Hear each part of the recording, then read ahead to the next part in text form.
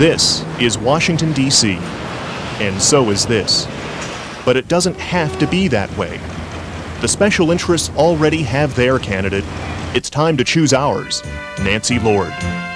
Only Nancy Lord has a plan to revitalize our neighborhoods by cutting taxes and red tape and eliminating licensing rules that hurt small business and limit job opportunities.